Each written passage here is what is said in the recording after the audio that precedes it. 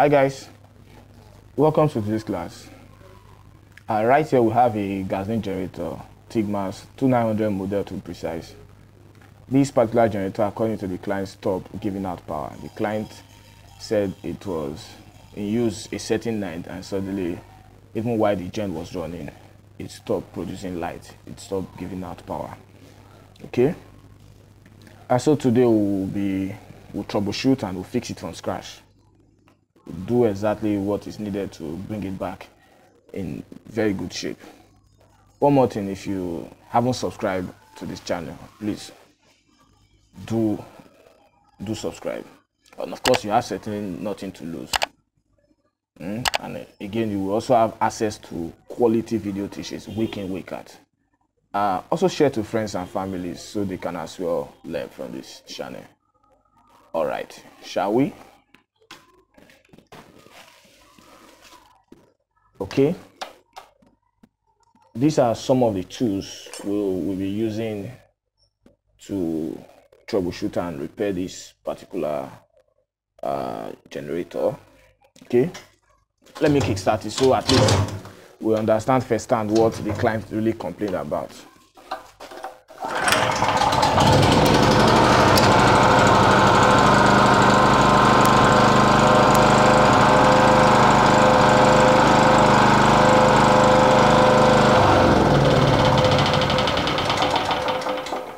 okay if you observe carefully you discover the voltmeter is not working. Okay it didn't move at all when we put on the gen and again the indicator here this uh, is an indicator. So when there is power in the generator it usually indicates but this didn't indicate whatsoever. So that is a clear proof that what the client complained about was really really valid so before then, on a norm, although I've been doing this for some years now, I've been fixing generators over time.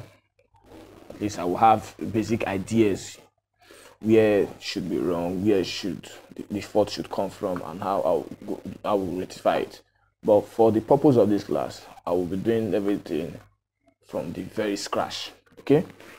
When you have a generator like this, and you have been told or you have, have a generator personally or you have been told to come fix for someone okay you you certainly need to the first thing i do basically is to check for continuity. Check for continuity. Okay what does that mean? What that means is if the wires in the generator from the windings down to the wires that gets down to the socket if any of them is bad you will notice via this meter because at that point it won't show that it is continuous. It will read here. It is continuous and it's not continuous. It doesn't read. You get so with this ferry meter you can ascertain to a large extent where the fault is coming from. So without further ado let's get into business. All right. Okay just to check if the continuity function is uh, working. And we just discovered it's working. Let's check for let's check the socket. Okay it's continuous.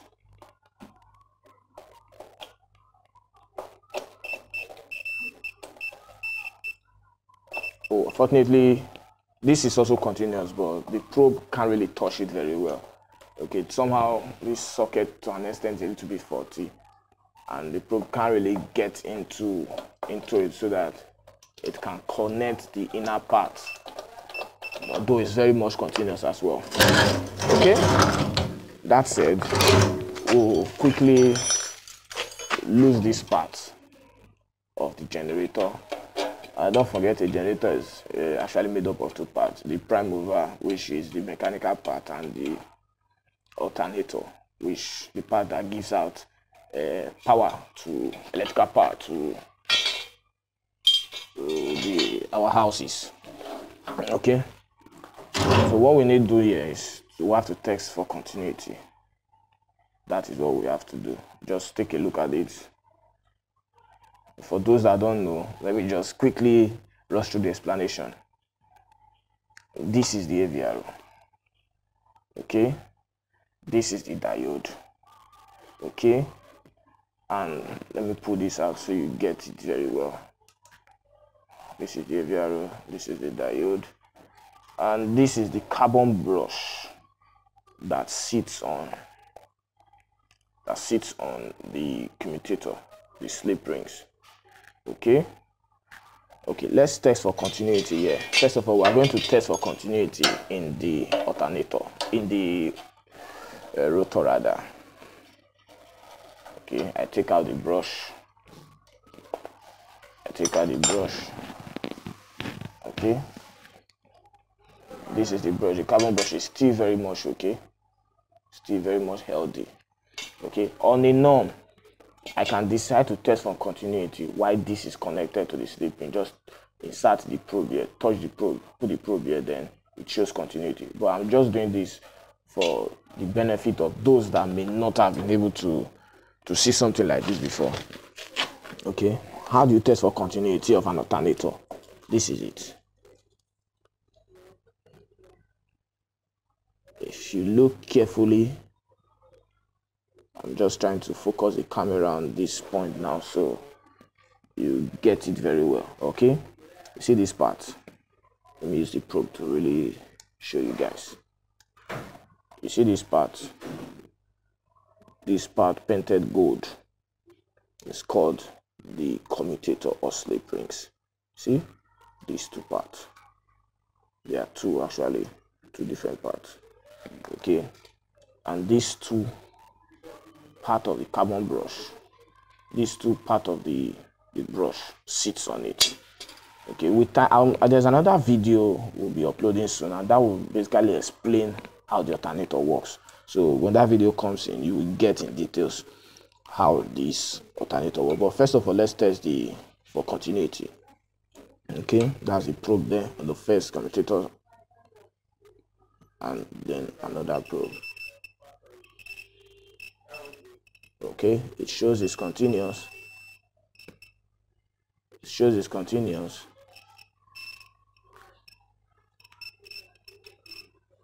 okay. You see now it shows it's continuous. Good. What we've successfully done we've successfully shown the rotor is certainly not faulty so the fault cannot come from the rotor okay? The fault cannot come from the rotor. So let's connect the carbon brush back I'll try my possible best to make it simple for everybody to to really understand. We're putting the carbon brush back. After um, troubleshooting the rotor and discovering that it is very very much healthy. Okay what do we do next? Up next we troubleshoot the we troubleshoot the um, stator. Uh, don't forget the stator and the rotor makes up the alternator. we troubleshoot the stator okay